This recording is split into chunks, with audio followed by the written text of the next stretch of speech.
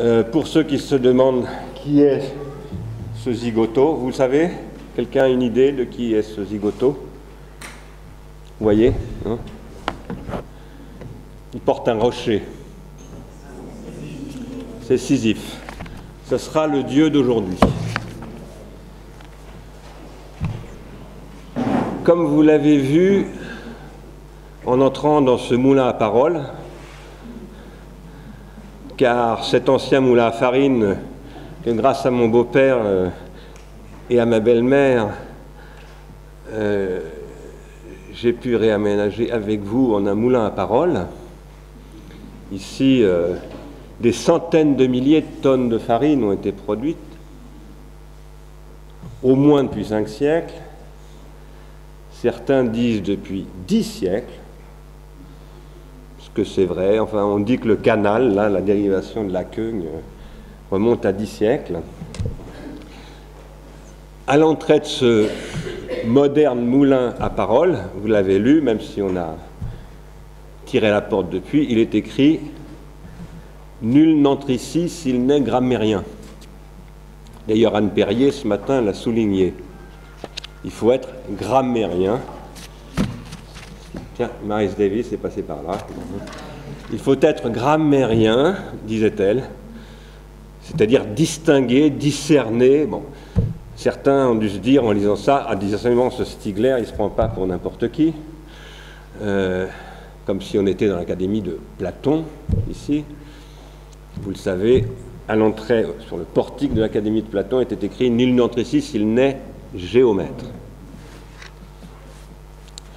Si j'ai mis ce calico, nul n'entre ici s'il n'est grammairien, c'est pour toutes sortes de raisons sur lesquelles nous reviendrons l'année prochaine, l'année d'après, puis l'année d'après l'année d'après, si, comme on dit, Inch'Allah.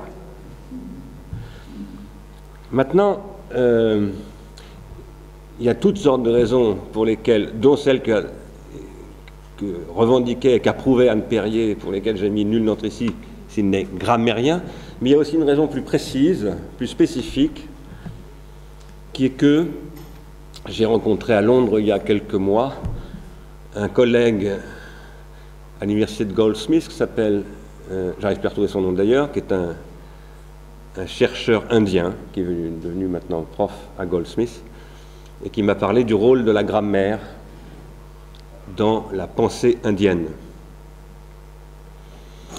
Il m'a dit des choses que je savais d'ailleurs un petit peu déjà par Sylvain Auroux, qui est un historien des sciences du langage et donc de la grammaire, à savoir que dans euh, l'Inde ancienne, la grammaire a la place de la géométrie dans la société occidentale. La grammaire qui est une science du pharmacone. Parce qu'au départ, la grammaire, c'est la science, non pas de la langue, mais de la langue écrite et de l'écriture de la langue, qui vient après l'écriture d'ailleurs. Le pharmacone arrive d'abord, l'écriture, qui se produit techniquement de manière un peu euh, tâtonnante, presque par hasard dans certaines situations. Et puis ensuite, souvent bien après l'apparition de l'écriture, apparaissent les grammairiens, précédés d'ailleurs en Grèce par les philosophes parce que les grammairiens sont arrivés après Aristote. Le premier à faire, non pas de la grammaire, mais ce que j'appellerais de la grammatisation théorique, c'est-à-dire découper les parties du discours, isoler des types de mots, produire ce qu'il va appeler des catégories, qui sont à l'origine de la logique formelle, de la table des catégories, une question absolument fondamentale en philosophie et aujourd'hui en informatique et dans la technologie numérique, eh bien, cela précède la grammaire à proprement parler. Voilà, j'ai souhaité que l'on mette euh, ce calico donc pour nous donner à réfléchir à ce que c'est que la grammaire, mais aussi au fait que notre histoire est constituée par un rapport à la géométrie et que l'histoire de l'Inde, c'est-à-dire de l'Asie, et l'Inde joue un rôle extrêmement important en Asie, parce que l'Inde c'est le berceau du bouddhisme, et elle va disséminer dans toute l'Asie des éléments qui ne se trouvent pas en Chine, par exemple parce que la Chine est une écriture idéogrammatique, ce qui n'est pas le cas du sanskrit à proprement parler, enfin l'écriture du sanskrit, qui viendra d'ailleurs beaucoup plus tard que l'écriture du chinois, l'écriture chinoise, eh bien ça dessine un autre destin spirituel, un autre destin intellectuel. Le temps est venu pour nous, dans ce que j'appelais hier, j'en reparlerai tout à l'heure, l'internation, c'est-à-dire l'union des nations pour éviter la guerre, d'ouvrir un dialogue entre grammaire, géométrie, écriture idéogrammatique et tout ce qui s'est produit derrière tout cela, et qui, depuis plus de 4000 ans en Chine, est un empire qui ne s'est jamais arrêté et qui est en train en ce moment de montrer sa vitalité extrême, qui s'est approprié l'écriture alphabétique à travers l'informatique, mais qui n'a pas du tout perdu son rapport aux idéogrammes. Et il va nous falloir apprendre à penser avec la pensée chinoise et à dialoguer avec les Chinois, parce que quand on dialogue, on ne se tape pas dessus. Ça, je vous signale que c'est ce que Prométhée a parfois à la main. C'est aussi ce que Héphaïstos a parfois à la main. Prométhée et Héphaïstos sont deux dieux dont je parle souvent. Pourquoi et comment philosopher aujourd'hui? Telle est notre question. Et comme tout le monde ici, aujourd'hui, je vais tenter d'y répondre à ma façon. Aujourd'hui. Je commencerai en effet par le quatrième mot de cette phrase interrogative où il y a trois adverbes et un verbe. Nous le savons depuis que les grammairiens ont qualifié ces parties du discours, comme les appelait Aristote. Je laisse de côté la conjonction de coordination et on aurait en effet pu mettre à la place de et une virgule. Pourquoi? Comment philosopher aujourd'hui? On pourrait croire que si je n'ai pas mis de virgule, mais la conjonction de coordination et, c'est parce que nous avons tendance, nous, nous c'est-à-dire ceux que l'on appelle les philosophes, à poser la question du pourquoi préalablement à celle du comment. Et dans ce cas-là, si on disait pourquoi et comment aujourd'hui, ça voudrait dire que la coordination devient une subordination, qu'on subordonne la question comment à la question pourquoi, et autrement dit que le et n'est plus une conjonction de coordination, mais un quasi-adverbe de temps, ce, que ce qui est très souvent le mot et et est un synonyme dans ce cas-là de puis. Pourquoi, puis comment philosopher aujourd'hui? Demandons-nous pourquoi, puis demandons-nous comment philosopher aujourd'hui. Si donc j'avais écrit pourquoi, puis comment philosopher aujourd'hui, et si j'ai mis pourquoi et comment au sens d'un adverbe de temps, ça voudrait dire D'abord, on va se demander pourquoi philosopher, et ensuite on se demandera comment philosopher. Ceci constituerait ce que j'ai appelé l'autre fois, il y a deux jours, un ordre des questions. Reprenons une problématique de Descartes qui explique au XVIIe siècle que la philosophie consiste à poser les questions dans le bon ordre. Ce qui relève de ce qu'on appelle l'ordre des choses, ça s'appelle la syntaxe. Et moi, je considère que les philosophies en général, les types de philosophie, ou les philosophes eux-mêmes, se distinguent par la manière dont ils ordonnent les questions, ils produisent des syntaxes de questions. Or, je voudrais attirer ici votre attention, avant d'entrer dans mon propos, qui sera une tentative de répondre à cette question, pourquoi et comment philosopher aujourd'hui, je voudrais attirer votre attention sur l'intérêt qu'il pourrait y avoir à ne pas poser la question du pourquoi avant celle du comment. Poser la question du pourquoi avant celle du comment, ce qui est la façon traditionnelle d'interroger en philosophie depuis Platon, ça signifie toujours poser en principe que les fins précèdent les moyens.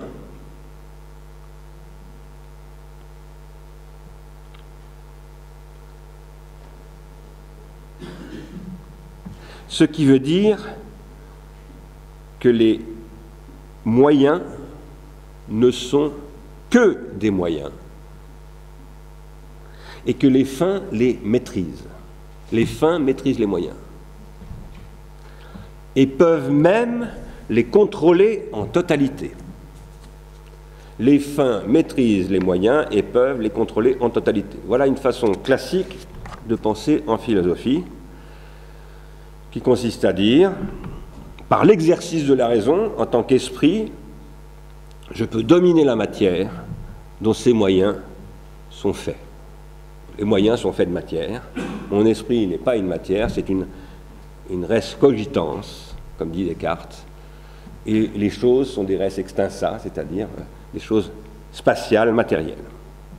Je crois que cette façon de penser est dépassée. Ça fait déjà un bon moment qu'en philosophie, euh, cette façon de penser est contestée depuis le XIXe siècle. Ça a commencé avec les matérialistes. Ça s'est beaucoup développé au XXe siècle sur d'autres bases, non pas par des, matérialistes, par des idéalistes à proprement parler, mais des phénoménologues, des existentialistes, etc. ont contesté tout cela.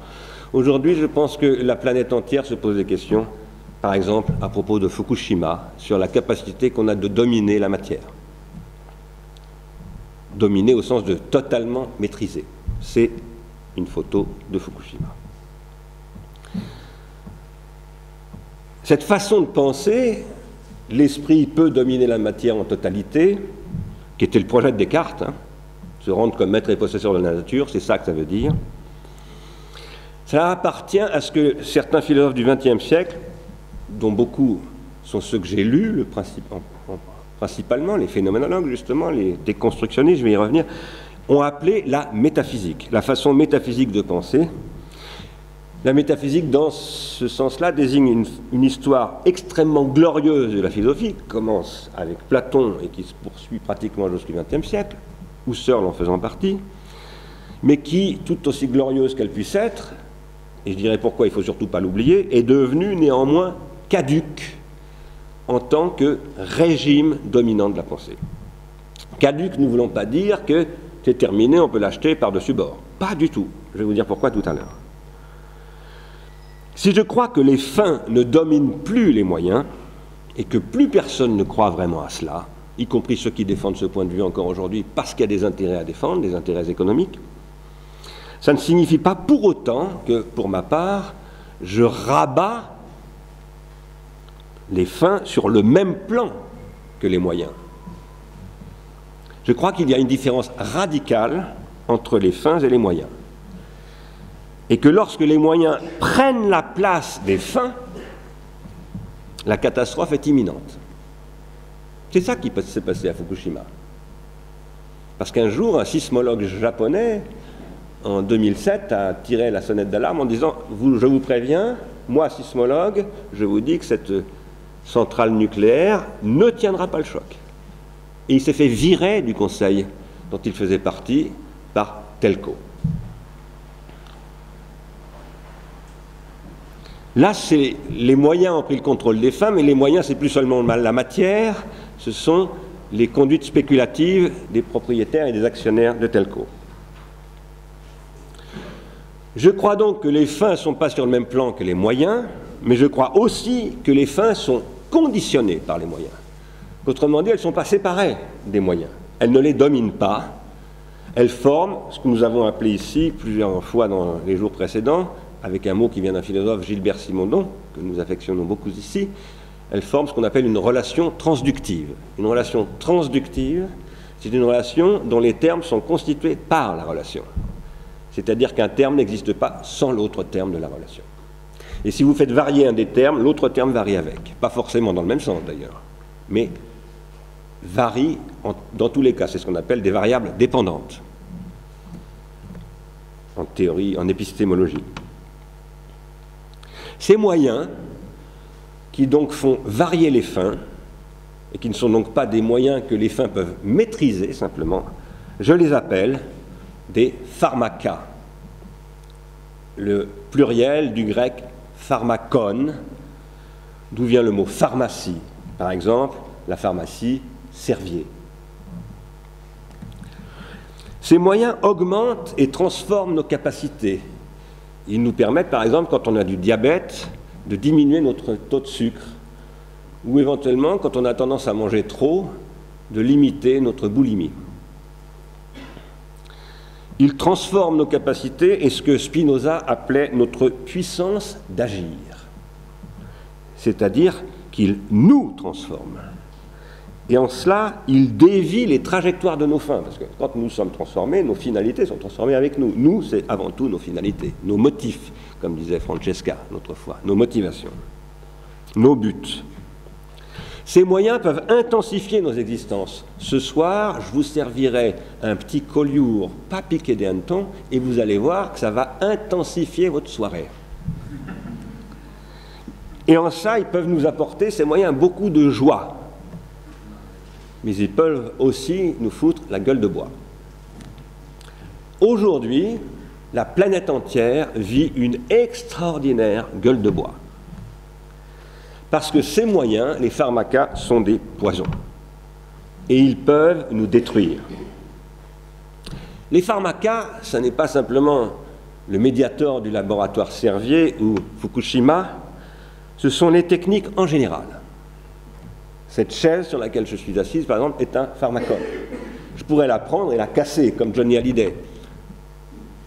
Oui, je dis comme Johnny Hallyday parce que Laurent euh, m'a dit l'autre fois, je n'avais pas su très bien comment prendre ça, il m'a dit Vous êtes le Johnny Hallyday de la philosophie. Bon.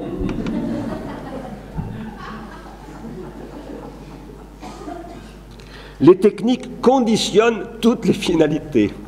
J'ai oublié de mettre mes lunettes noires, je suis désolé. Hein. je ne vais pas vous appeler Sylvie, Laurent. les techniques conditionnent toutes les finalités des êtres non inhumains que nous tentons d'être et de rester en nous extériorisant. Nous tentons d'être non inhumains en nous extériorisant. Ce matin, Simon Lincel l'a un petit peu montré dans son film. Et précisément en nous extériorisant techniquement le début de l'hominisation de l'être non inhumain, je préfère dire ça plutôt qu'humain. C'est l'être vivant qui s'extériorise organiquement, qui se donne des organes artificiels, qui sont des objets techniques. Georges Canguilhem, qui est un médecin, qui pas très loin d'ici été le médecin du maquis de la résistance, qui a créé un hôpital de campagne pour soigner les résistants, un homme très courageux, il y en a eu d'autres. Jean Cavaillès, lui, s'est fait piquer par les Gestapo, il a été fusillé. Il n'y a pas eu que lui. Il y avait à une époque des philosophes en France qui étaient capables de prendre les armes et de se lever contre les occupants. Est-ce qu'il y en aurait beaucoup aujourd'hui? D'ailleurs, est-ce que j'en ferai partie? J'en suis pas sûr. Je n'en suis pas sûr. Quoi qu'il en soit, depuis le début de l'hominisation, une forme de vie est apparue que Georges Canguilhem, ce grand philosophe qui était avant tout un médecin, qui s'est mis à faire de la philosophie pour comprendre le corps humain, appelait la vie technique. Il disait, l'homme, bof, la vie technique, oui, il y a une forme de vie nouvelle qui est la vie technique. La vie technique, c'est vivre avec art. Je prends le mot au vieux sens latin de ars, comme dans ars industrialis. Autrement dit, au sens des arts et métiers. Les arts de la meunerie, par exemple.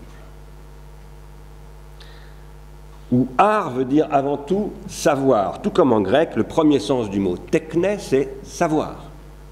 Chez Homère, si vous lisez l'Iliade en grec, vous trouverez à la place de savoir ce que vous trouvez en français savoir, vous trouverez techné. De mon point de vue, le langage est une dimension spécifique de cette extériorité, de cette extériorisation qu'est l'être humain, c'est-à-dire qui fait partie des pharmacas, le langage. C'est une technique, de ce point de vue-là. C'est une technique mentale d'un type extrêmement particulier. Et c'est parce que c'est une technique qu'il est, comme dit un grand philosophe anglais, John Austin, performatif. Qu'est-ce que ça veut dire qu'il est performatif? Ça veut dire que dans certaines situations, le langage peut créer des actions, peut, peut déclencher des situations, peut agir sur le réel. Par exemple, je préside la séance de cet après-midi, je vais dire la séance s'arrête, on va faire une pause. Et, là, et de fait, la séance va s'arrêter. C'est-à-dire que par ma parole, j'ai exercé un pouvoir. Ce pouvoir est dangereux. Il est dangereux parce que ça veut dire que la langue, en tant qu'elle est une technique, peut aussi faire faire des choses. Avec la parole, on peut faire des choses, ce qu'on appelle les speech acts. Ce ne sont pas simplement des déclarations comme euh, je déclare la séance ouverte, ça peut être par exemple je déclare la guerre à la Pologne, à la France, etc. Ou je déclare au peuple allemand un certain nombre de choses qui vont faire que je vais avoir lui derrière ce peuple pour, euh, pour faire cela. Tout cela a été posé en préalable. Le premier mot que je vous invite donc à considérer dans notre question est l'adverbe de temps aujourd'hui. Le vierge, le vivace et le bel aujourd'hui. C'est le titre d'un sonnet qui n'a pas de titre, un sonnet de Mallarmé, une série de petits sonnets du début de la carrière extraordinaire de Mallarmé. Ici, l'adverbe est devenu un nom, puisque Mallarmé lui attribue un article défini, le bel aujourd'hui. En plus, il lui attribue un qualificatif, un adjectif qualificatif. Il dit le bel aujourd'hui. Notre aujourd'hui, aujourd'hui dans lequel nous sommes, au mois d'août 2011, ici et maintenant, n'est pas vierge. Il n'est pas vivace.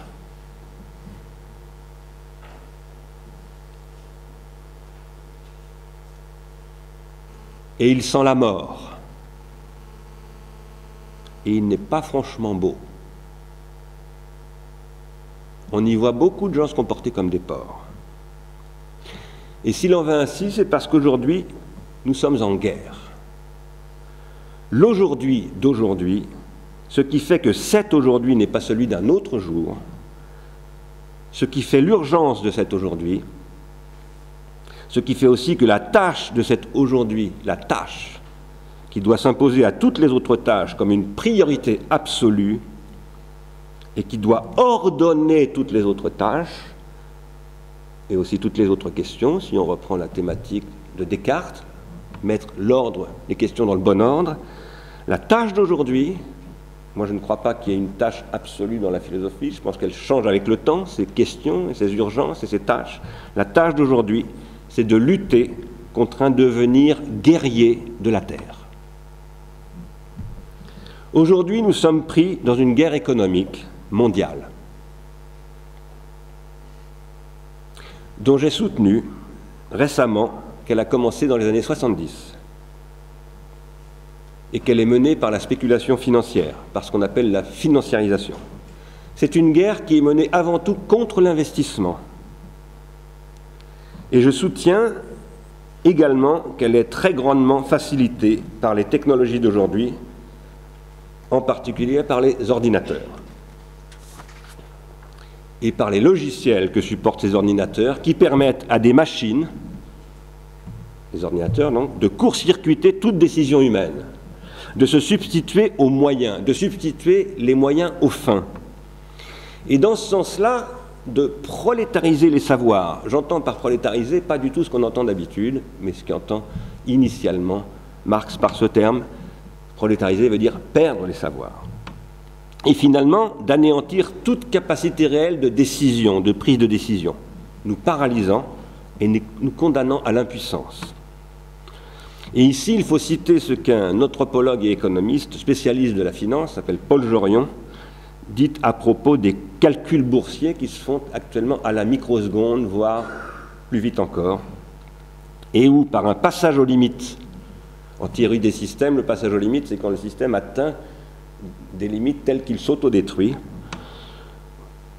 Par un passage aux limites du système techno-économique, plusieurs crises se combinent en même temps cette année 2011, dont j'espère pour vous et pour l'avenir de la planète que vous avez bien compris qu'elle est encore bien plus grave que l'année 2008. Et elle forme le dur aujourd'hui, pas vierge du tout, qui est le nôtre. Jorion déclarait ceci tout récemment dans un interview. Il y a une superposition de crises. Crise des matières premières, on a dépassé le pic pétrolier, crise environnementale, crise du crédit. Une grande partie des bénéfices des entreprises, au lieu de servir à l'autofinancement, a été distribuée en dividendes aux actionnaires, au lieu de revenir aux salariés qui se sont donc endettés pour essayer de compenser une baisse de pouvoir d'achat due à la stagnation des salaires au cours des 30 dernières années. Crise philosophique.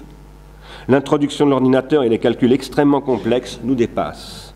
La machine ne connaît pas la peur, ça c'est important, la machine ne connaît pas la peur comme nous la ressentirions et prend des décisions extrêmement risquées. Je ferme cette euh, fin de citation. Je cite Paul Jorion qui donc déclare que l'ordinateur est une technologie extrêmement dangereuse, pour parler clairement, en particulier lorsqu'elle est utilisée dans le domaine de la finance. J'ai écrit un livre récemment où j'ai montré que dans le domaine militaire, si Brezhnev et Nixon ont négocié à partir de 1972, c'était pour la même raison, c'est parce que les ordinateurs qui pilotaient les missiles SS-20 et Pershing, eh bien, ils ne les maîtrisaient absolument plus, et c'est pas moi qui ai trouvé ça, c'est Paul Virilio, a montré qu'en fait, c'est à partir de là que la négociation était indispensable pour ralentir la performance des appareils d'armement. Parce que sinon, la décision politique de la guerre n'existait plus. Elle était devenue purement technologique. Même les militaires ne maîtrisaient plus rien. En vous disant cela, en même temps, je crois, avec Ars Industrialis, qu'aujourd'hui, c'est-à-dire après 2008 et en 2011, c'est-à-dire après l'effondrement du crédit souverain, et en particulier du crédit américain, et de la croyance dans l'avenir des États-Unis, après euh, l'effondrement au mois de juillet de la cote du crédit ou de la dette américaine, que vous voyez s'afficher là, en même temps, donc, je crois, je le dis et je le répète, je crois que ce sont les mêmes technologies, les ordinateurs, toutes ces technologies qui constituent des pharmacas, des techniques, qui permettent de sortir de la situation. Je le crois. Je ne le sais pas. Les philosophes font partie des gens qui disent ne confondons pas croire, savoir, espérer, imaginer. Et beaucoup de gens confondent tout ça. Je ne le sais pas je le crois. Si c'était sûr et même certain, si je pouvais le démontrer, je le saurais. Mais cela n'est pas sûr. Ça n'est pas sûr parce que cela dépend de nos capacités à reprendre des décisions thérapeutiques.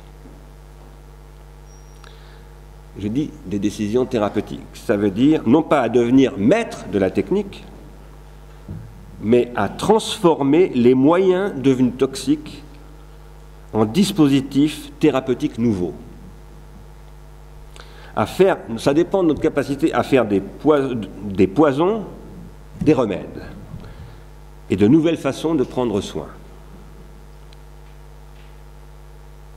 Et je le dis d'emblée pour anticiper la suite de mon propos, philosopher aujourd'hui, c'est se consacrer à faire de la, ce que j'appelle, ce que nous appelons, de la pharmacologie, c'est-à-dire c'est se consacrer à étudier ce qui, dans la toxicité des pharmacas que sont les technologies peut devenir curatif. C'est étudier ce qui, dans le, dans le poison, peut devenir curatif, peut nous rendre soigneux. Faire tout le contraire de l'économie de l'incurie dans laquelle nous avons été précipités par le consumérisme, lorsque la révolution conservatrice a détruit l'investissement pour le remplacer par la spéculation. Or, cela n'est possible qu'à la condition de constituer une nouvelle croyance. Et c'est un mot de Nietzsche, repris par Gilles Deleuze. Nietzsche qui pose qu'il faudra à l'homme, après ce qu'il appelle le nihilisme, une nouvelle croyance, c'est-à-dire un nouveau crédit c'est-à-dire une nouvelle économie capable d'instaurer une nouvelle confiance. Cependant, ceci est une question d'économie industrielle et financière tout autant que d'économie psychique, ce que Freud appelait une économie libidinale. Il y aurait bien entendu beaucoup d'autres choses à dire sur notre aujourd'hui. Ce serait interminable. Je ne rajouterai ici à Épineuil, en ce 26 août, presque dix ans après le 11 septembre 2001, que quelques mots sur ce point de savoir ce qui est caractéristique de notre aujourd'hui pour la détermination des trois autres mots de la phrase comment et pourquoi philosopher aujourd'hui. Un autre aspect de notre aujourd'hui que nous devons absolument prendre en compte, c'est la spécificité de la dimension pharmacologique dans cette guerre. Ce que je vous dis depuis le début, c'est que la pharmacologie, c'est le problème de la vie technique depuis l'origine de la vie, qui est d'ailleurs l'origine de la guerre puisque la vie technique, c'est la seule forme de vie qui fait la guerre. Qu'est-ce que ça veut dire faire la guerre? Ça veut dire combattre sa propre espèce. Il n'y a que les hommes qui pratiquent cela. Dans la guerre que nous sommes en train de vivre, il y a une dimension pharmacologique spécifique, mais il y a bien entendu dans toute guerre une dimension pharmacologique. Une guerre est menée avec des armes. Et les armes, ce sont les techniques. Et toute technique est une arme. Avec ce marteau, je peux vous massacrer.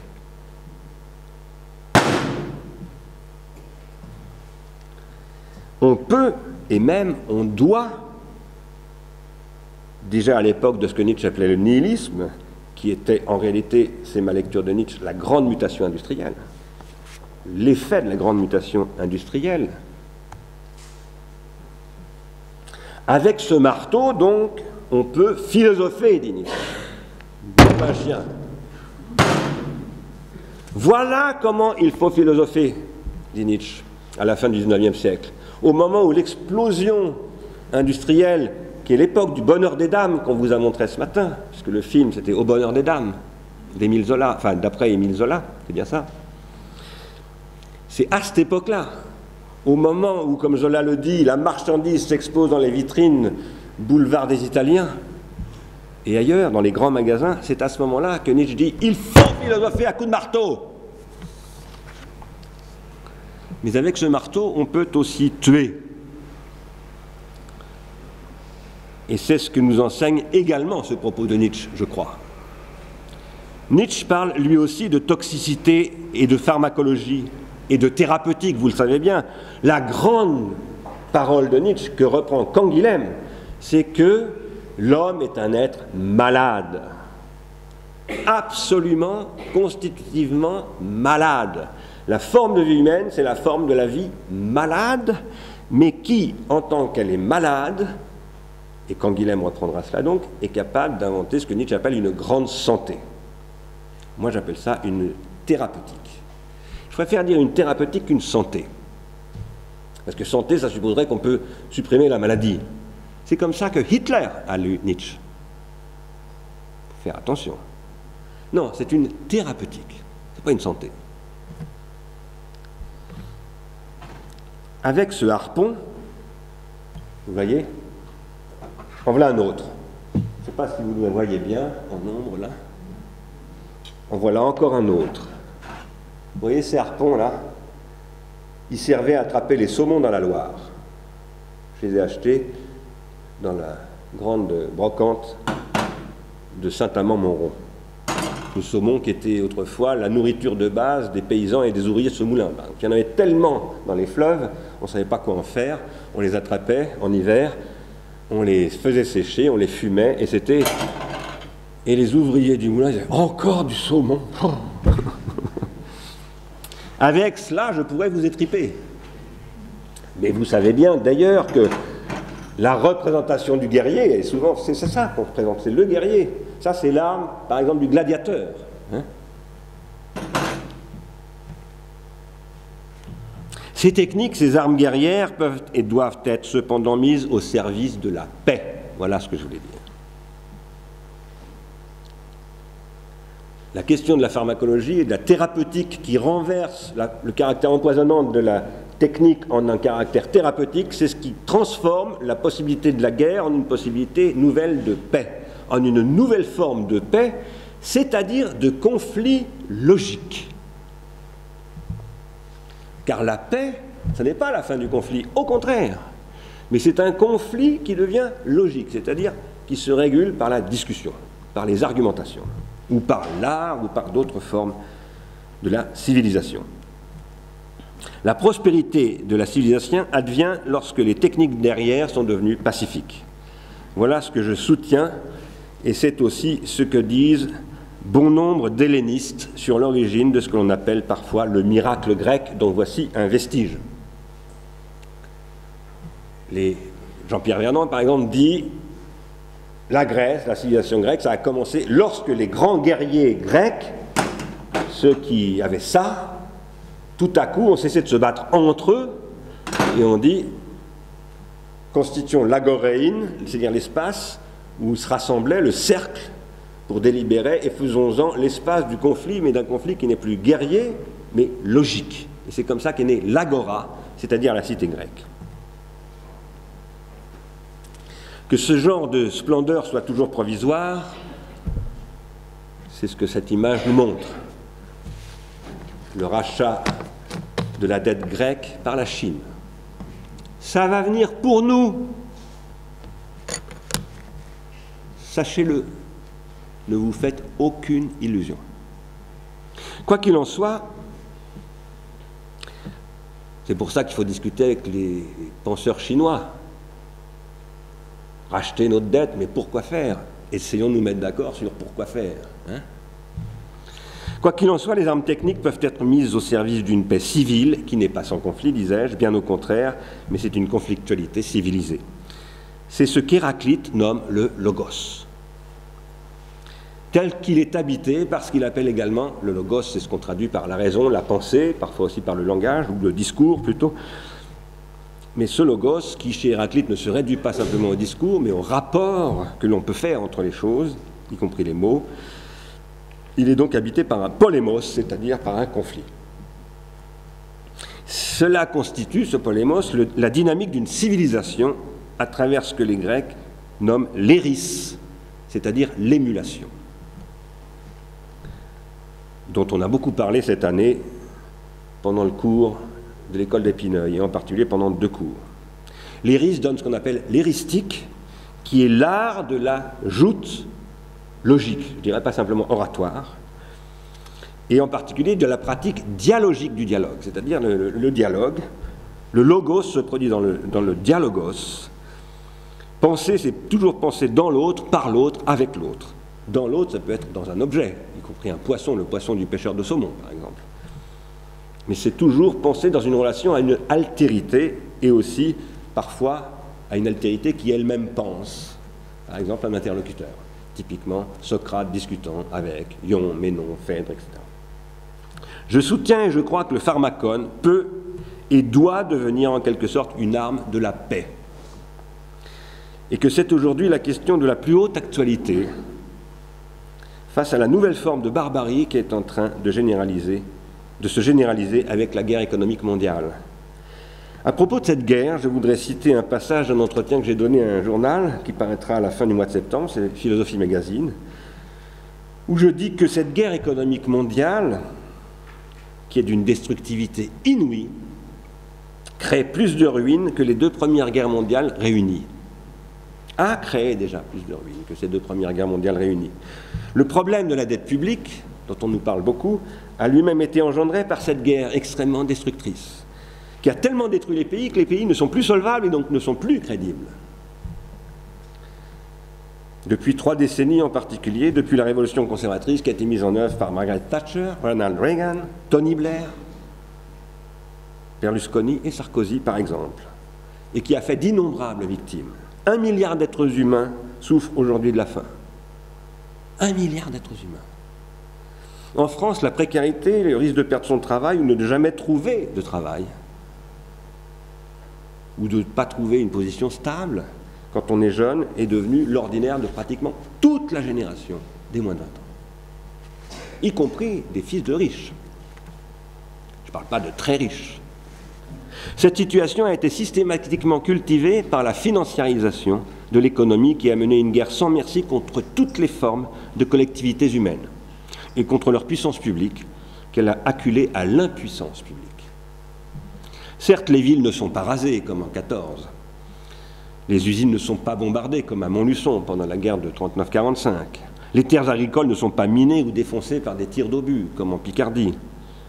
Mais ce qui fut appelé par Joseph Schumpeter la destruction créatrice, dès lors qu'elle est devenue, avec la financiarisation, exclusivement spéculative et non plus investissante, et qu'elle a donc conduit à un désinvestissement généralisé qui a imposé une logique de jetabilité absolue et de tout, et donc de destruction absolue, parce que jeter, ça veut dire détruire, ça a fait que la mondialisation est devenue une lutte sans foi ni loi des spéculateurs contre toutes les formes de valeur et de patrimoine. Cette guerre est aveugle. Ceux qui la mènent s'aveuglent eux-mêmes devant le fait qu'ils sont en train de détruire les objets même de leur propre spéculation il n'y aura bientôt plus de combattants économiques. Alors apparaîtront les combattants militaires. Le rôle de la philosophie, je fais ici tout à coup apparaître la question de pourquoi philosopher, est de retrouver le chemin d'une paix nouvelle et de contribuer en cela à la pensée d'une alternative à cette guerre économique. C'est un impératif absolu pour deux raisons. Premièrement, si elle devait se poursuivre, cette guerre économique mondiale conduirait, à très brève échéance maintenant, à une guerre militaire mondiale. Regardez les réactions assez dures que la Chine a maintenant vis-à-vis du Trésor américain et les menaces. Vous avez vu, la première réaction de l'agence euh, Chine Nouvelle a été ils n'ont qu'à moins investir dans leur armée au moment où la Chine est en train de lancer son premier très gros porte-avions nucléaire. Deuxièmement, au stade où en est arrivée cette guerre, il est devenu tout simplement impossible d'éviter la ruine économique et politique totale, par exemple de la France. Mais plus généralement, à mon avis, non seulement de l'Europe, je ne parle pas simplement des pays latins, mais des pays industriels historiques en général, y compris l'Allemagne, qui finira par connaître le même sort que les États-Unis si rien ne change. Parce que l'Allemagne, ça va tant qu'elle trouve des marchés. Mais elle commence à ne plus en trouver. La preuve, la croissance allemande n'a jamais été aussi basse que cette année. On n'arrête pas de nous dire l'Allemagne, l'Allemagne, l'Allemagne. Ben oui, mais l'Allemagne, elle va aussi mal que nous. Elle a le même taux de croissance que nous, là, en ce moment. Une alternative à la guerre, car c'est ça que je crois qu'il faut imposer, non seulement à la guerre militaire, mais à la guerre économique qui conduit directement à la guerre militaire, s'appelle la paix.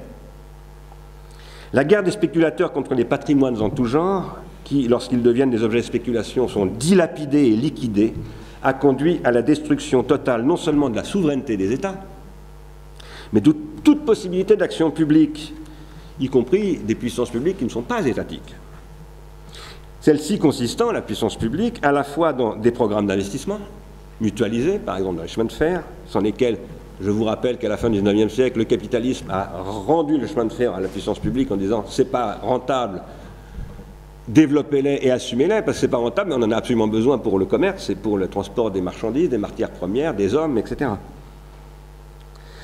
des dispositifs de redistribution, c'est-à-dire faire en sorte que bah, les ouvriers, il faut quand même qu'ils soient à peu près en bonne santé pour travailler, que leurs enfants euh, naissent, etc., pour qu'ils se reproduisent, des tâches d'éducation et de protection dans le welfare state, dont on a beaucoup parlé, aussi de la définition des règles qui font que l'homme n'est pas un loup pour l'homme, et que ni la nuit dans la rue, ni en plein jour sur les places boursières ou dans les entreprises, on ne s'entretue. Des règles qui fassent que nos existences ne se réduisent pas à la lutte de tous contre tous, du délinquant juvénile au pirate de la finance. On nous dira que la puissance publique est devenue impotente parce qu'elle s'est endettée.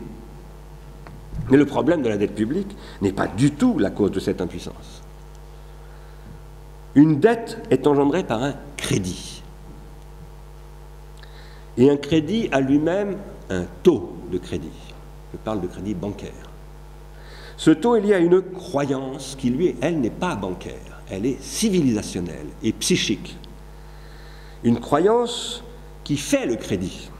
On accorde un crédit en tant que banquier, par exemple, à la mesure de ce que l'on croit de quelqu'un, non pas d'un point de vue bancaire, mais de ce qu'il est dans la vie. Il a la frite, le futur Buster Keaton. On lui fait crédit et on lui dit je te prête à 2%.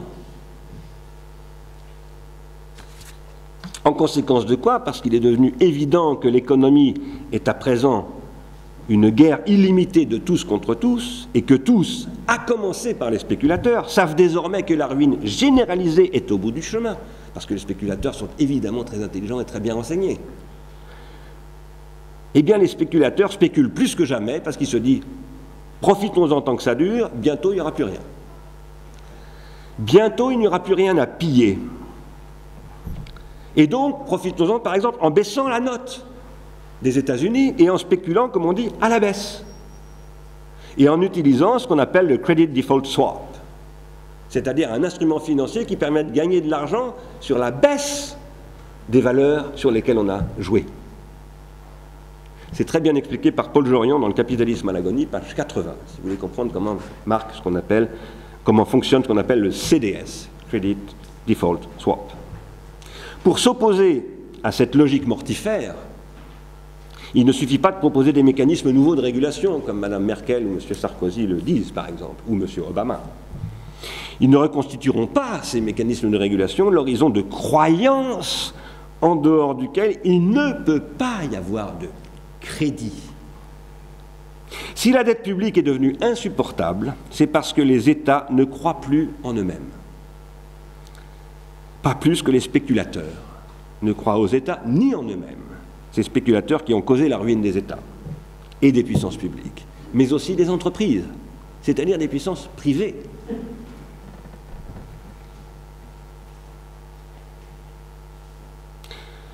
Et s'il y a un tel discrédit, une telle perte de croyance dans l'avenir, et donc une perte de confiance entre banques, entre acteurs économiques, acteurs publics, instances politiques, générations aussi, car la défiance intergénérationnelle est extrême, et finalement entre les citoyens eux-mêmes, et finalement en chacun par rapport à lui-même, la perte de confiance en soi, qui est énorme. C'est surtout parce que le modèle consumériste, qui s'était développé au début du XXe siècle, est devenu toxique et destructif pour la planète. C'est ce que le rapport Meadows disait dès 1970. Le rapport Meadows, ce n'était pas les pro-chinois de l'école normale supérieure de la rue d'Ulm, c'était le MIT, et parce que cette destruction s'est emballée avec la financiarisation qui a tout à coup spéculé sur la destruction et a imposé sa logique de mondialisation en prenant l'oseille et en se tirant ensuite où bah, Nulle part. Parce que peut-être qu'on pensait encore en 70 qu'on pourrait un jour s'installer sur la Lune, mais on n'y croit plus du tout. Donc qu'est-ce qu'ils vont faire les fils de ces spéculateurs quand tout va péter? À partir du moment où la logique infernale montrée par le rapport Meadows a été finalement exploitée de manière spéculative et ultra court-termiste, prenons le fric tant qu'il y en a, le consumérisme est devenu porteur d'addiction, de maladies. Première cause de mortalité anticipée aux États-Unis étant le diabète, par exemple, créée par la surconsommation de sucre, créée elle-même par des entreprises alimentaires américaines pour lesquels on développe maintenant des recherches aux États-Unis sur les prothèses qui vont permettre de remplacer les organes coupés de ces personnes. Parce que le, diabète, ça crée de l'amputation, oui. Financé par l'État. Et financé par l'État, absolument.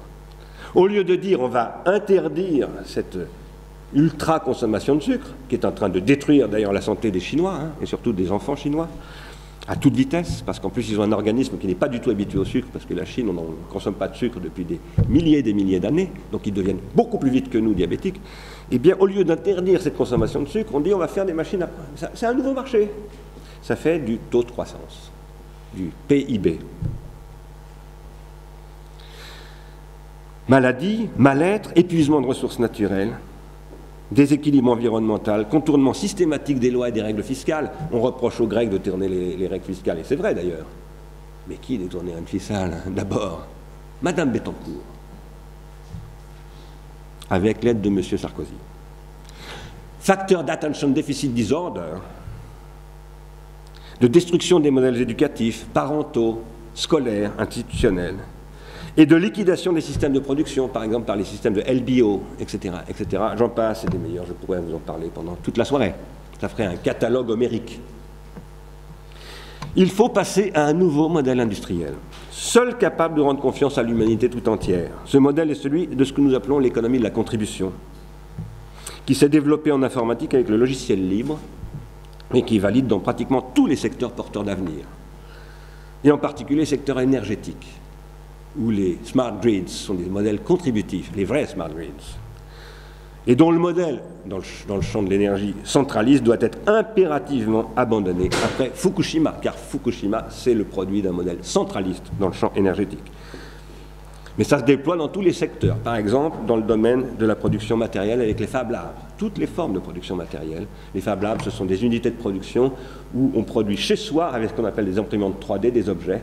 Et donc, on importe la partition de l'objet et on fabrique soi-même. Ça commence à se développer au Sénégal et en Afrique de l'Ouest, dans ces pays où on n'a pas les moyens de développer de l'investissement industriel de masse, euh, de grande production, et néanmoins où on se débrouille avec cela. Une telle économie est la mise en œuvre d'une pharmacologie positive. C'est ça que j'appelle la pharmacologie positive. Et celle-ci doit avant tout lutter contre l'un des effets les plus effrayants de cette guerre économique mondiale, qui est le développement d'une bêtise systémique, qui elle-même procède à la fois d'une prolétarisation généralisée, c'est-à-dire d'une perte généralisée de savoir, par le développement d'une pharmacologie négative, qui faisait dire, je le redis tout le temps, mais c'est tellement incroyable, à Alan Greenspan, mais je ne comprends pas comment ça marche patron de la fête disait Je ne comprends pas comment ça marche. C'est ce que redit maintenant Paul Jorion. Et c'est pour ça que ça a planté. Parce qu'évidemment, on ne maîtrise jamais la matière totalement. Donc, comme Fukushima pète, euh, Wall Street peut péter aussi. Et à partir du moment où on n'a plus de théorie économique de comment ça marche, et qu'on ne soumet pas à la théorie économique la façon dont ça marche, on est revenu dans ce que les Grecs appelaient l'ubris, la démesure, comme dans le champ militaire ou dans le champ énergétique. C'est ça que j'appelle la prolétarisation généralisée. Aujourd'hui, moi, je forme des ingénieurs à l'université de Compiègne. Je crois que c'était déjà le cas de Simon, qui est un ingénieur de l'université de Compiègne, où on n'enseigne pas aux mécaniciens, par exemple, les théories de la thermodynamique, où on n'enseigne pas aux biologistes les, questions et les apories du transformisme et de l'évolutionnisme. Mais par contre, on forme ce sont des ingénieurs qui vont ensuite fabriquer des centrales à Fukushima ou fabriquer des aliments pour le bétail ou je ne sais quoi. Et donc, ils n'ont aucune capacité à critiquer ce qu'ils font. L'ingénieur du 19e siècle était un ingénieur qui avait d'abord fait des sciences théoriques et qui ensuite pouvait soumettre à la critique théorique les procédés qu'il mettait en œuvre. L'ingénieur d'aujourd'hui, parce qu'on dit qu'il faut être efficace, aller vite et pas perdre de temps à faire par exemple de la philosophie ou de l'épistémologie, eh bien il faut qu'il soit capable de vite mettre en œuvre des procédures prescrites par qui? Par Telco, par des gens comme ça. Tout ça résulte d'une pulsionalisation de la libido, c'est-à-dire d'un processus de désinvestissement, pas simplement dans la finance, mais de désinvestissement dans les objets du désir, dont la géométrie, la physique sont des cas. Galilée ne faisait pas de la physique pour les ingénieurs de l'école, euh, pour les ingénieurs de l'université de Compiègne. Galilée faisait de la physique par amour de la physique, et au prix d'ailleurs de sa vie et de sa liberté. Il n'en est pas mort, mais ça aurait pu lui arriver, comme Giordano Bruno. La pulsionalisation de la libido, c'est la décomposition de la libido, qui est la conséquence de la prolétarisation. Je ne vais pas développer ce point longuement, j'ai déjà fait souvent ailleurs, y compris dans le cours d'Épinaille, mais je voudrais simplement rappeler que le consumérisme, pour capter la libido, est obligé de la délier. Qu'est-ce que je veux dire? La libido, elle est définie avant tout à partir de 1901 par Freud comme une capacité à lier les pulsions, c'est-à-dire à les limiter et en plus à les détourner, ça c'est en 1923, de leur but. Les pulsions, lorsqu'elles sont libérées, déliées et non plus détournées de leur but, détruisent la libido. La libido n'est précisément pas la pulsion, mais le détournement de l'énergie de la pulsion vers autre chose que la pulsion, vers l'objet du désir, c'est-à-dire vers l'idéalisation. La transformation de la pulsion, de l'énergie pulsionnelle, qui est une espèce d'énergie atomique, une puissance nucléaire de l'être noétique que nous sommes, de la vie technique que nous sommes, eh bien, c'est ce qui doit se transformer en idéalisation, qui prend toutes sortes de formes. Celle des idéalités mathématiques, dont j'ai parlé dans le cours, celle de l'adoration du Christ, voici un magnifique Giotto, celle de l'amour pour ses enfants ou pour ses petits-enfants, c'est mon petit-fils, il s'appelle Simon. Si la guerre économique détruit ces objets, ces objets d'amour, ces objets d'idéalisation, ces objets d'investissement, ces objets de fidélité, faut être fidèle à ceux qu'on aime. y compris la peinture. C'est pas facile la peinture. On a parfois envie d'envoyer tout péter, comme on dit. Pas facile la philo non plus d'ailleurs. Rien n'est facile. La menuiserie non plus n'est pas facile. Rien n'est facile. Et ce qui fait que la vie vaut le coup d'être vécue, c'est qu'on s'attache à ce qu'on fait et que même quand c'est très très difficile, on ne renonce pas. C'est lié à la fidélité. Et ça, c'est le sens du christianisme. Pas la culpabilité, qui est le sens du judaïsme. Que la guerre économique, si, pardon, la guerre économique détruit ces objets, c'est parce que l'investissement est fidèle. Or, la guerre économique est une guerre des infidèles. De la guerre économique menée par les spéculateurs. Ce ne sont pas les infidèles que seraient les musulmans par rapport aux Templiers qui foutaient le camp à Jérusalem, autrefois d'ici même, ou à l'inverse, les musulmans qui firent la guerre aux infidèles et qui parfois nous appellent encore comme ça. Ça arrive, mais c'est très rare. Je pense que les musulmans sont beaucoup plus pacifiques, personnellement, que les judéo-chrétiens. Quoi qu'il en soit, vous me direz, non, c'est pas vrai, islam, djihad et tout ça. Bon, le djihad aujourd'hui, c'est le djihad néolibéral, qui a restauré le djihad de l'État conquérant. N'oubliez pas que, comme le peuple de Moïse, c'est-à-dire le judaïsme, a été un peuple qui a fait la guerre, hein, qui pour, installer son État et sa, et sa, forme de vie, évidemment que Mahomet a aussi fait la guerre. Mais ça, c'est toujours l'origine de toutes les religions. Alors vous allez me dire, non, pas le Christ. Si, le Christ aussi. On ne va pas s'apesantir là-dessus. Quoi qu'il en soit, ces infidèles dont je vous parle là aujourd'hui, ce ne sont pas des infidèles qui combattraient d'autres infidèles qu'ils considéreraient comme des d'autres, d'autres croyants qu'ils considéreraient comme des, mauvais croyants ou des mécréants. Non. Ce sont ceux qui ne croient plus du tout à quoi que ce soit, même pas en eux-mêmes. Même pas en eux-mêmes. Parce qu'ils marchent à la coque c'est-à-dire au pharmacone à haute dose. Ce sont des cyniques absolument irréductibles, que j'appelle les seigneurs de la guerre financière. Je les appelle comme ça parce que si j'en ai le temps, je vous parlais tout à l'heure des seigneurs de la guerre japonais, les samouraïs, si j'en ai le temps. Cette destruction de la libido, c'est-à-dire de l'investissement, c'est aussi la destruction de la sublimation, c'est-à-dire de toutes les formes de savoir et donc de l'éducation elle-même. Et tout cela conduit à une situation de prolétarisation généralisée où on ne sait plus compter, parce qu'on n'utilise plus que des calculettes, on ne sait plus conduire sa bagnole, etc. etc. C'est la généralisation de la euh, prolétarisation. C'est à partir d'ici que je vais passer au mot philosopher, qui est le troisième mot dans notre question. Rassurez-vous, je passerai moins de temps sur le mot philosopher et encore beaucoup moins de temps sur les mots comment et pourquoi. Cela étant, vous voyez que j'ai commencé par le mot aujourd'hui, maintenant je passe au mot philosophie. Autrement dit, je remonte le cours de ma, petite phrase nominale, c'est d'ailleurs pas nominale, ma petite phrase, comme un saumon. Et comme tous les poissons qui remontent le cours de la Queugne, qui est la rivière qui passe là, lorsqu'il y a des grandes crues qui permettent à ces poissons de passer l'écluse, malgré l'écluse, et de remonter à la source, et d'aller frayer là où ils en ont envie notamment les truites sauvages, malheureusement il n'y en a plus. Mais ce n'est pas à cause de la, pas à cause de l'écluse, c'est parce que maintenant la pollution, les nitrates et tout ça font qu'il n'y a plus de truites dans cette petite rivière. Ça fait pas très longtemps. Comme il n'y a plus d'anguilles d'ailleurs. Philosopher. Que veut dire philosopher Philosopher en général, cela veut dire, excusez-moi, ça vous paraît évident, faire de la philosophie et je n'insisterai pas tant ici sur le mot philosophie, dont on pourrait évidemment se demander qu'est-ce que la philosophie, comme le font Gilles Deleuze et Félix Guattari dans ce livre. Je m'intéresserai donc moins au, mot philosophique qu'au verbe faire. S'il est vrai que ce verbe infinitif, philosopher, veut dire avant tout faire de la philosophie, c'est-à-dire peut-être avant tout se comporter en philosophe, et non seulement énoncer des théories, ou faire l'histoire des théories philosophiques. Pas seulement cela, théoriser, un philosophe ne se contente pas de théoriser, il essaye de vivre théoriquement, c'est-à-dire d'incarner la théorie qu'il porte, comme un curé. Vous ne pouvez pas être curé 8 heures par jour, ni même 20 heures par jour. Certes, la nuit, vos voeux de chasteté, peut-être, euh, ont tendance à s'évaporer, au moins fantasmatiquement. mais vous luttez comme Saint Antoine, même la nuit. Votre processus de censure qui fonctionne dans vos rêves euh, lutte. On est curé à plein temps, on ne l'est pas. Ça ne veut pas dire qu'on ne faute pas, on n'arrête pas de fauter. Tout le monde faute, en permanence, ne serait-ce qu'en pensant à. C'est déjà une faute.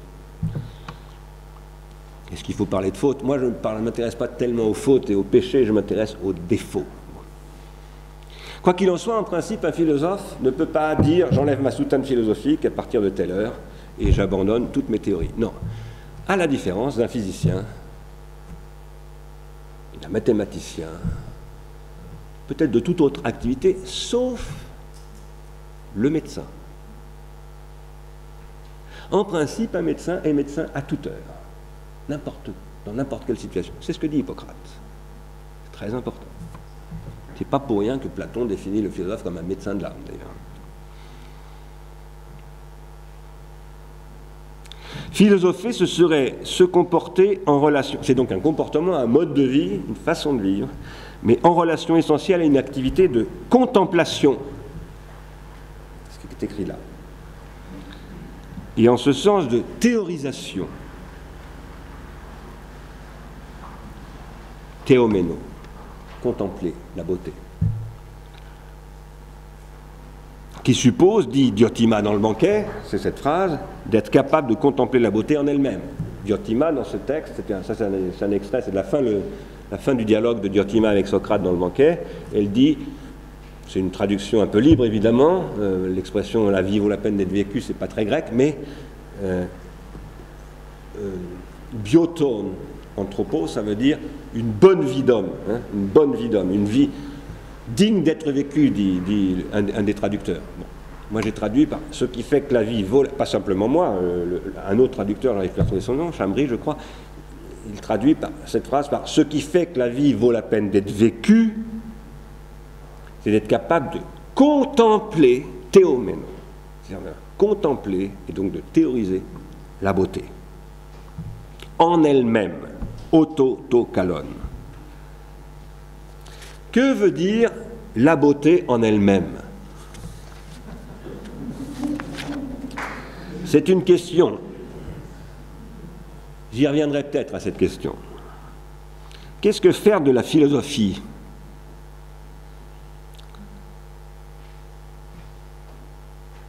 Faire de la philosophie, c'est une question avant tout pratique. C'est ça que dit Pierre Hadot et qu'il a enseigné à Michel Foucault. Ça ne veut pas dire apprendre à draguer les jolies filles, c'est pas du tout ce que je veux dire. Ça veut dire que philosopher, ça commence par inventer de nouvelles pratiques, ou plus précisément de nouvelles façons de vivre. Et aujourd'hui, s'il nous faut faire de la philosophie, si nous devons philosopher, c'est avant tout pour réinventer un savoir-vivre qui a été anéanti nous ne savons plus vivre. C'est très concret ce que je vous dis là. Si vous allez à la clinique des Bluets, qui est d'ailleurs en train de fermer à Paris, qui est la clinique historique de la méthode d'accouchement sans douleur, qui est connue dans le monde entier, vous allez voir, comme je l'ai découvert le jour où cette belle femme a accouché de mon deuxième enfant avec elle, Augustin, vous allez voir une affiche sur laquelle il est écrit à destination des mamans, si votre bébé pleure, il ne faut ni le secouer ni le taper. C'est-à-dire qu'aujourd'hui, on est obligé d'apprendre dans les cliniques, dans les maternités, aux, mamans qui ont des bébés de 3-4 jours, parce que qu'on ne tape pas un bébé.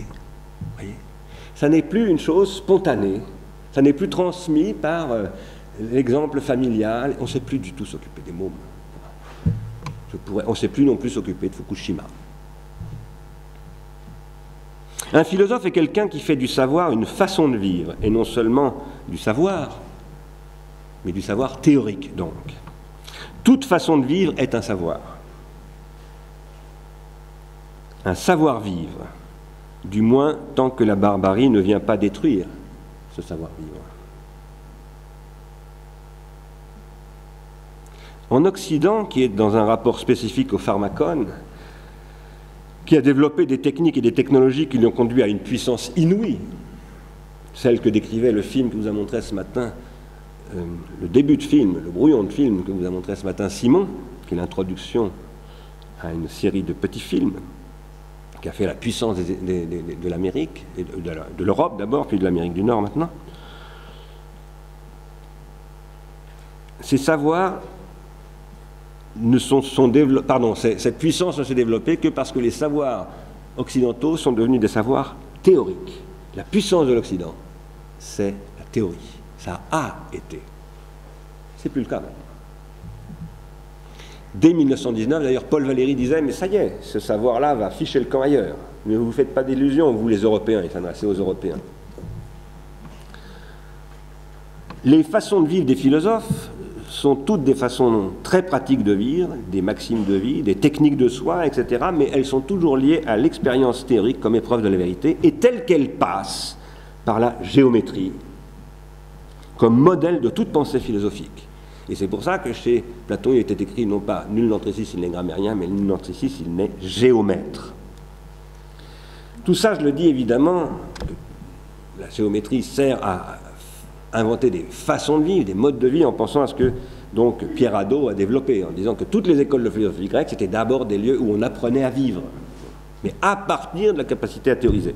Et ce dont Michel Foucault ensuite a tiré euh, tout un an, une série de textes évidemment très importants dont on a parlé hier. Nous reprenons Ars Industrialis ces questions dans un groupe qui s'appelle l'atelier technique de soi. Le savoir-vivre philosophique passe par un rapport fondamental à l'expérience de la vérité, donc aletheia en grec, tel que les Grecs la rencontrent il y a 2700 ans environ, comme la question de l'objet géométrique, par la combinaison des pratiques de l'arpentage d'un côté, c'est ce que dit Husserl dans l'introduction de l'origine de, la, de la géométrie en 1937, et de l'autre côté l'écriture.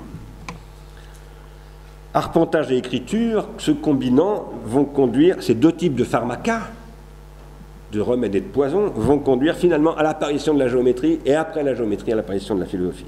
Le savoir-vivre philosophique est donc une pratique qui passe par la théorie géométrique en tant que celle-ci est démonstrative, mais repose sur une pratique pharmacologique ou thérapeutique de ces techniques que sont l'arpentage et l'écriture. À partir de là se développe une exigence de rigueur logique qui seule peut aboutir à ce qu'on appelle la vérité géométrique, la rigueur logique.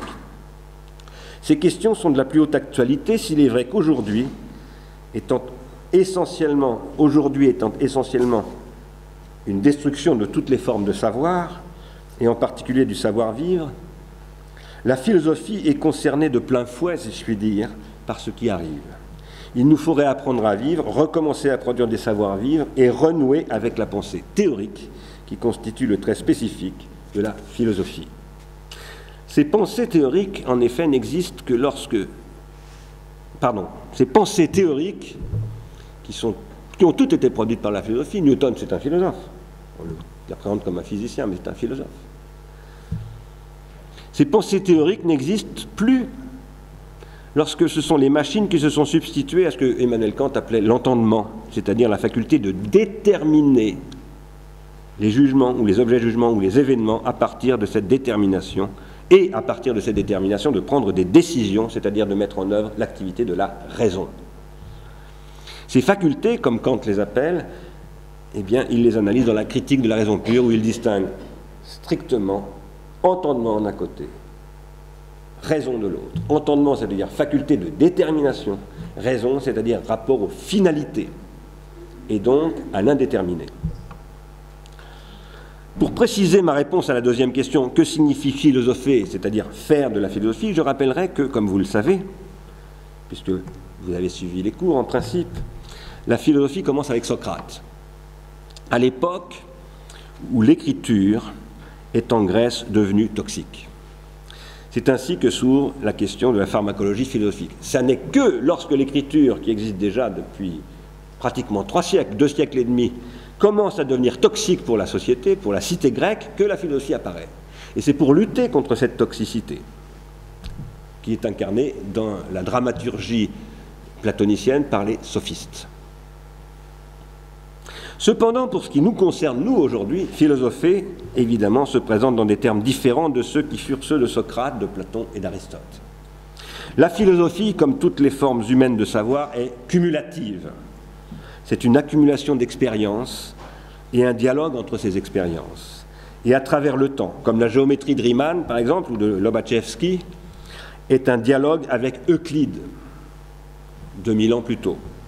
Même si on peut toujours démarrer à zéro, même si peut-être on doit toujours recommencer à zéro, comme Wittgenstein le fait dans les tranchées en 1914, par exemple, ou comme Descartes qui dit je balaye toute la scolastique et je repars à zéro, ou comme Husserl qui dit je recommence tout et je fonde la phénoménologie.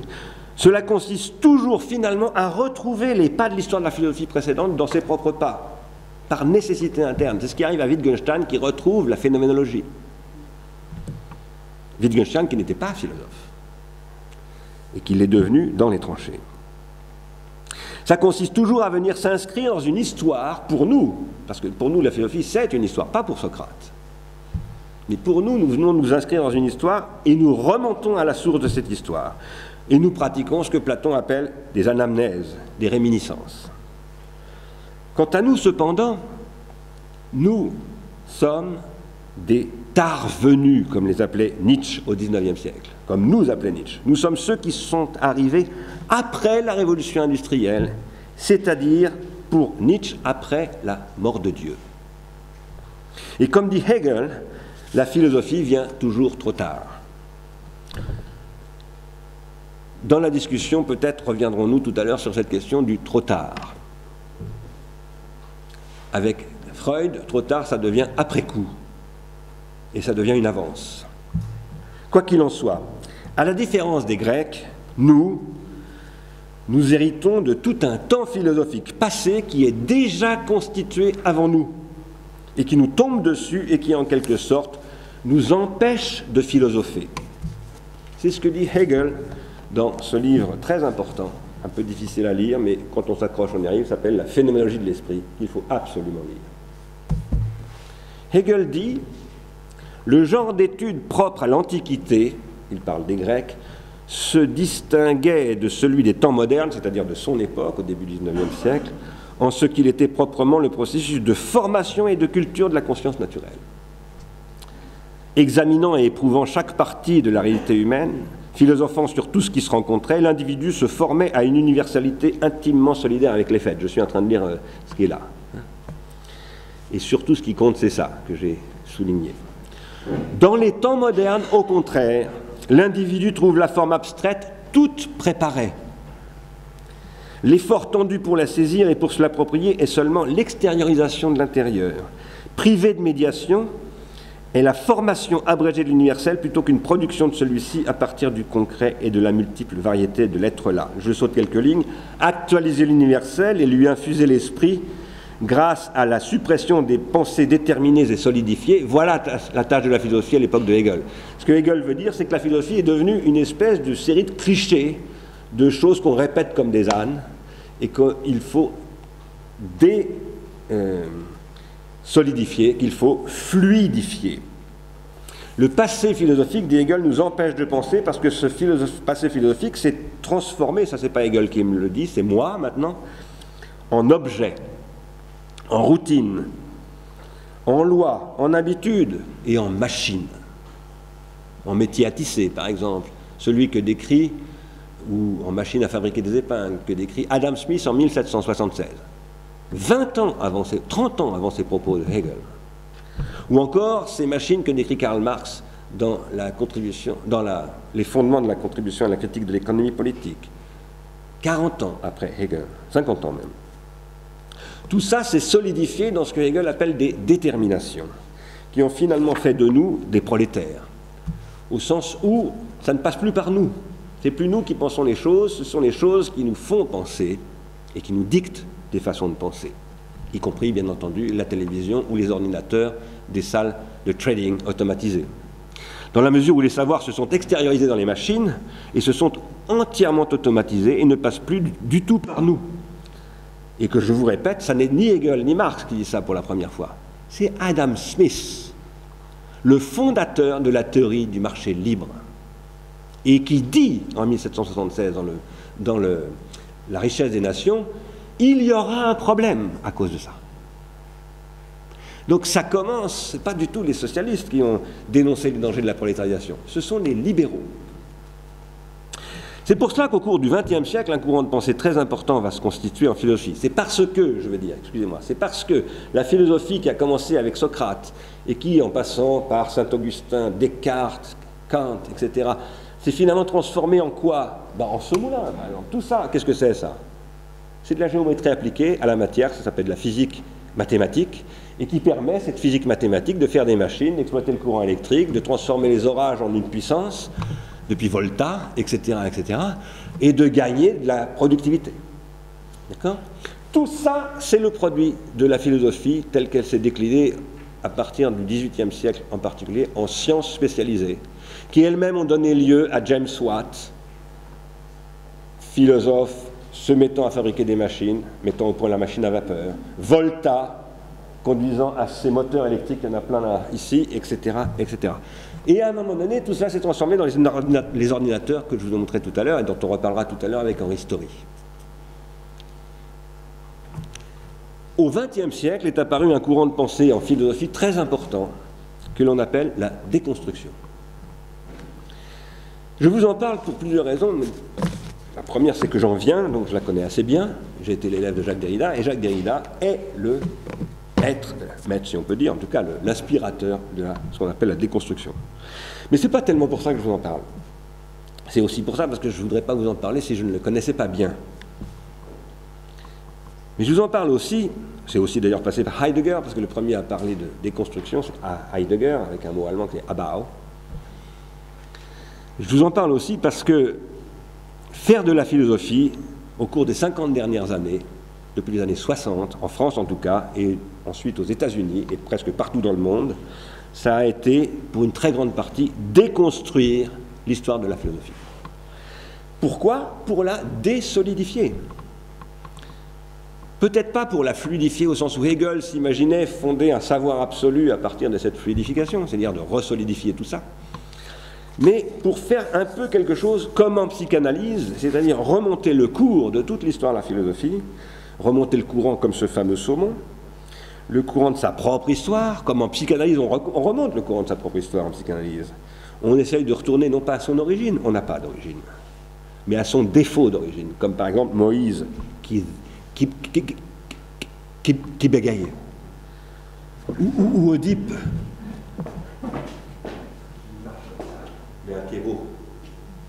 Tous ces grands personnages sont des handicapés, des boiteux, des bégayants. Ils ont des difficultés, ce sont ceux-là qui constituent les prophètes, les grandes figures, etc. C'est une manière de dire, mais nous sommes tous comme cela. Simplement, nous, ne le voyons pas parce que nous partageons le même défaut que tout le monde. Les Éphraïmites, par exemple, les Éphraïmites zézaïent tous, euh, ils ne disent pas chibolette, ils disent zibolette, zibolette. Et c'est comme ça qu'ils vont se faire massacrer. Hein? Ils ont un défaut, mais ce n'est pas un défaut, pas du tout un défaut de prononciation.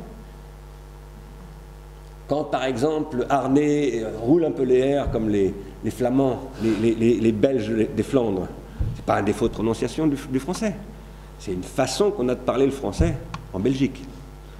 Quand ici, dans le Berry, on roule les airs d'une certaine manière, ça se fait plus beaucoup d'ailleurs, ce n'est pas un défaut de prononciation du français. Ça n'existe pas le français. Il y a toutes sortes de façons de parler le français, heureusement. Enfin, il y avait toutes sortes de parler de français. Quoi qu'il en soit, nous avons un défaut d'origine qui nous constitue.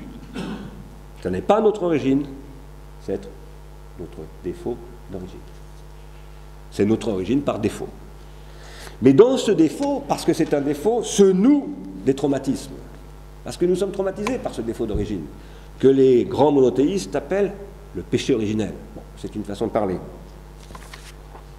Ces défauts forment ce que j'appelle dans notre mémoire, dans notre psyché, dans notre conscience et surtout dans notre inconscient des traumatypes et des contre-traumatypes.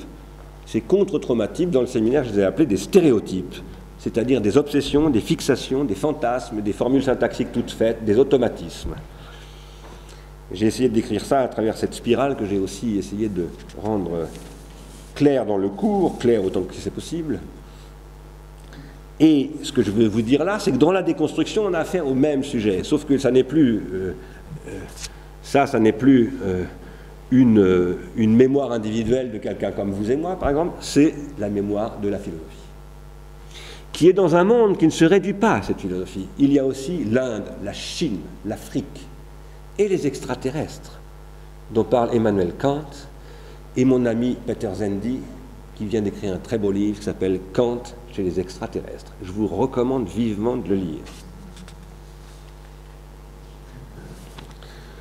La déconstruction, comme l'analyse, cherche à retrouver ce qui peut faire de tout aujourd'hui à nouveau le vierge, le vivace et le bel aujourd'hui.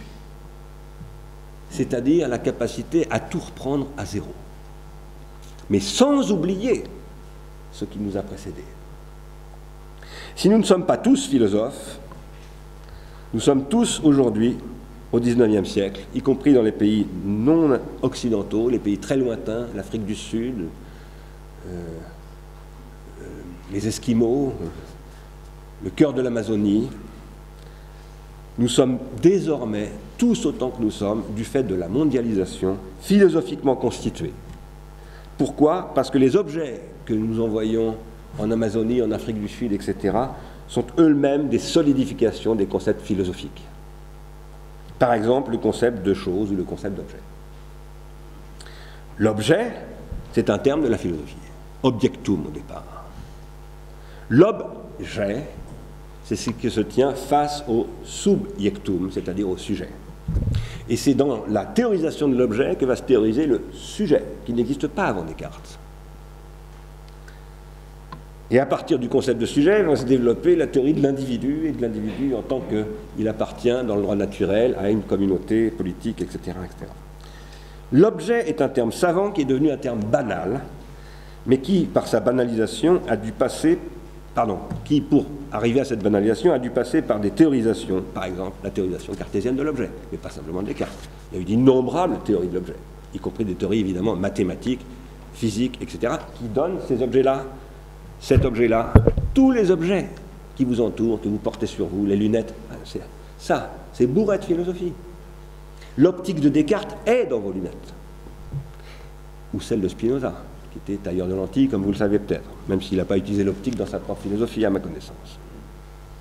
Qu'on le sache ou non, quand on vit au XXIe siècle, on vit dans le sillage de cette histoire intellectuelle qu'est par exemple la vie de René Descartes. Et je dis bien sa vie, qui a été un combattant, il a aussi fait la guerre. Où en sommes-nous, nous les revenus du XXIe siècle, par rapport à la déconstruction? Parlons-en maintenant. La déconstruction étant la grande philosophie du XXe siècle. En tout cas, la deuxième moitié du XXe siècle. Parce que la première, c'est la phénoménologie à mes yeux. Où en sommes-nous, par exemple, quant à la déconstruction de la théorie de ce que Descartes appelle le sujet transcendantal, qui est à la base, qui constitue la base métaphysique de l'objectivité, de la mathésis universaliste, c'est-à-dire des mathématiques mises au cœur de toutes les sciences, comme physique, mathématiques, etc. Donc au cœur de ce qui va devenir l'industrie, et donc l'économie, la théorie économique, etc. Où en sommes-nous par rapport à la déconstruction de tout cela qui a été entreprise par Derrida et par beaucoup d'autres? Et le temps est-il venu, par exemple, de reconstruire après cette déconstruction, comme si euh, c'était possible? C'est ce que proposait Jacob Rogozinski un ami de Jacques Derrida. Je ne crois pas beaucoup à la reconstruction, à cette théorie de la reconstruction. Je crois en revanche qu'il faut enchaîner non pas sur la déconstruction dont Derrida est l'incarnation, non seulement, je dirais, sur la déconstruction, mais sur ce qu'on a appelé le post-structuralisme, dont relève aussi la pensée de Jean-François Lyotard et celle de Gilles Deleuze, dont je montrais un livre tout à l'heure.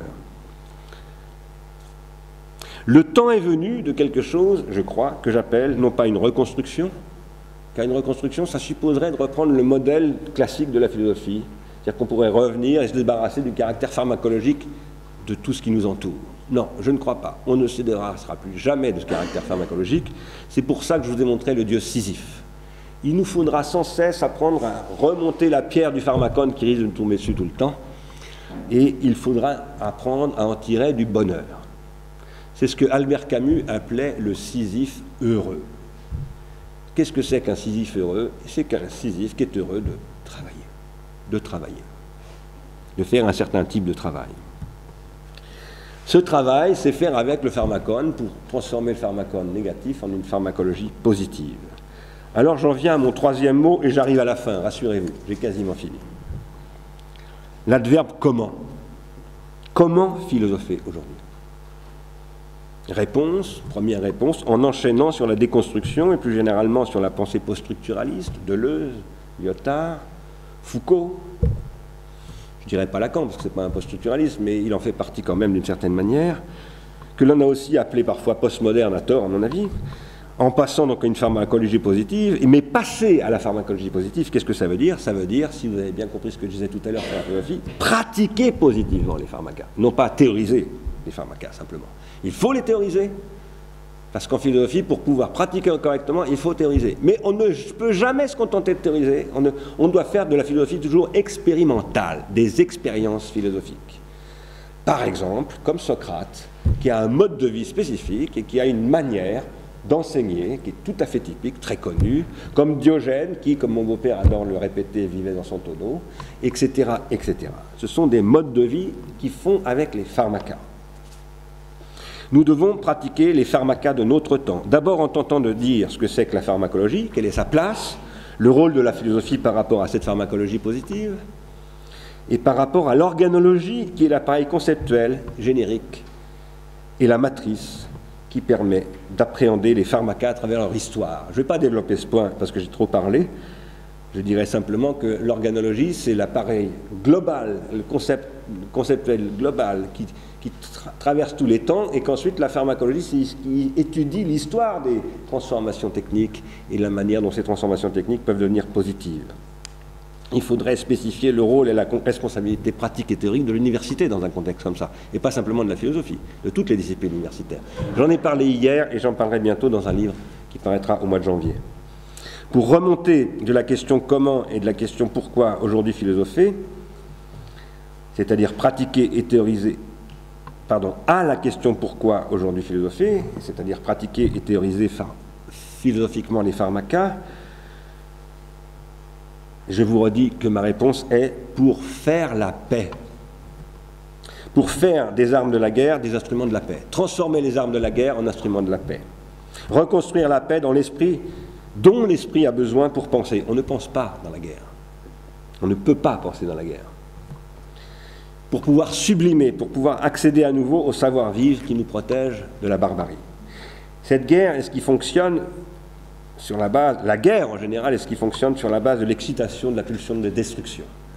Il y a évidemment des, bulles d'exception à cela. Il y a encore de la sublimation dans la guerre, ça s'appelle l'héroïsme. Mais cet héroïsme est une figure euh, fantasmatique qui sert à obliger les soldats à marcher à la boucherie, pas du tout comme des héros, mais parce qu'ils ont la trouille de se faire fusiller par ceux qui sont derrière. On les fait avancer, on les force à avancer. Cela étant, l'héroïsme existe, y compris à la guerre, bien entendu. Il y a des héros, ça existe. Napoléon était héros. Charles de Gaulle dans son genre aussi. Et un certain nombre d'autres. Ils avaient des, décorations, etc. Et ça asseyait leur légitimité politique qui manque tant aux politiques d'aujourd'hui. Cela étant, euh, d'autres guerres sont amenées aujourd'hui. Ce sont des guerres pacifiques, ce sont des guerres des esprits, ce ne sont plus tout à fait des guerres, ce sont des,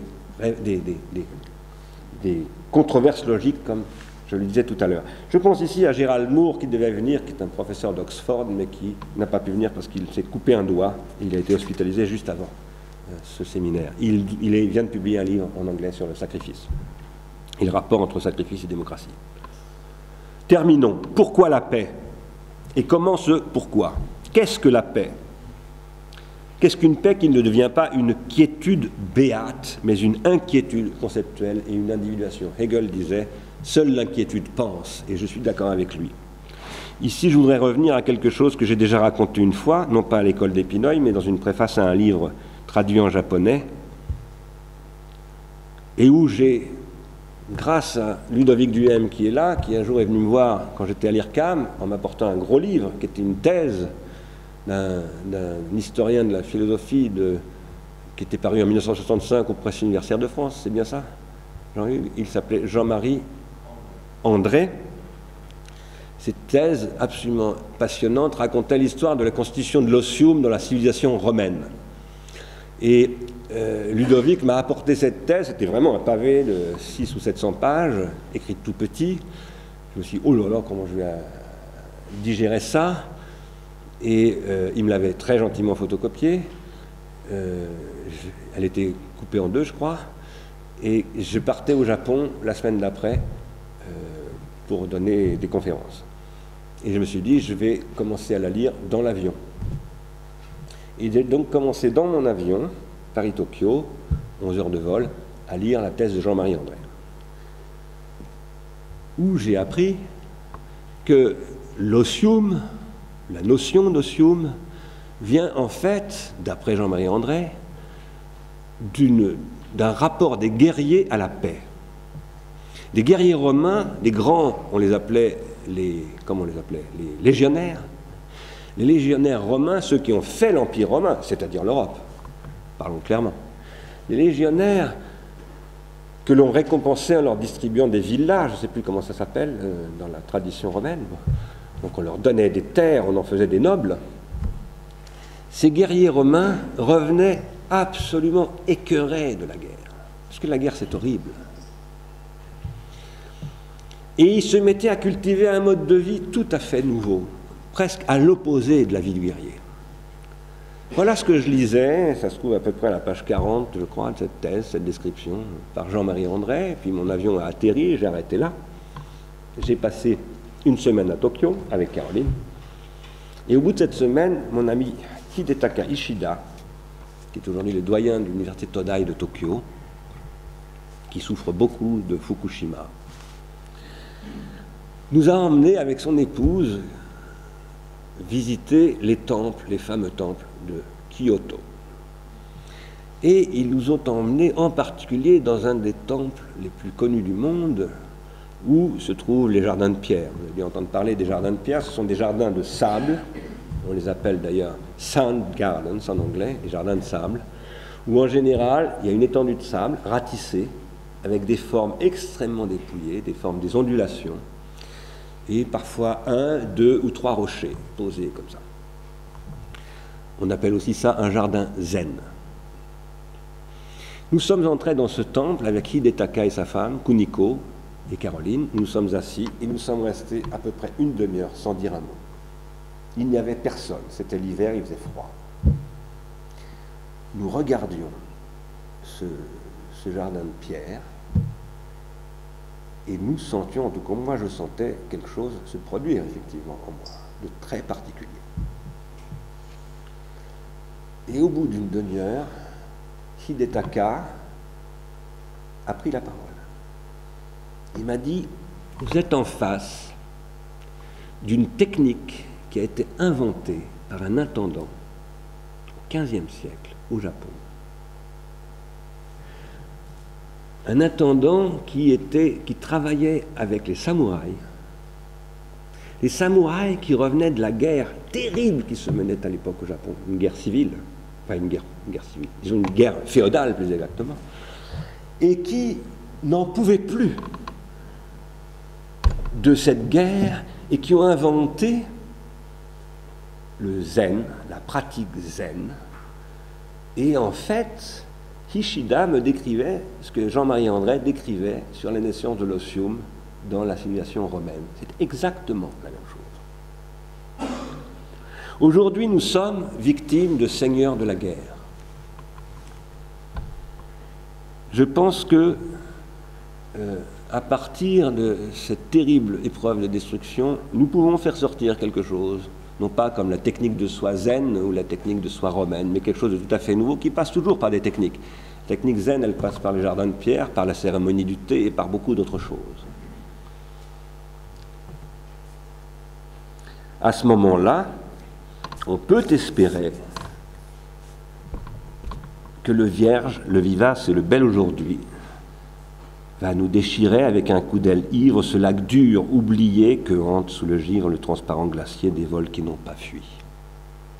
Un signe d'autrefois se souvient que c'est lui magnifique, mais pas, mais qui sans espoir se délivre pour n'avoir pas chanté la région où vivre quand du stérile hiver a resplendi l'ennui. Tout son col secoua cette blanche agonie. Par l'espace infligé à l'oiseau qui le nie. Mais non l'horreur du sol où le plumage est pris. fantôme qu'à ce lieu son pur éclat assigne. Il s'immobilise au songe froid de mépris que vêt parmi l'exil inutile le signe. Merci de votre attention.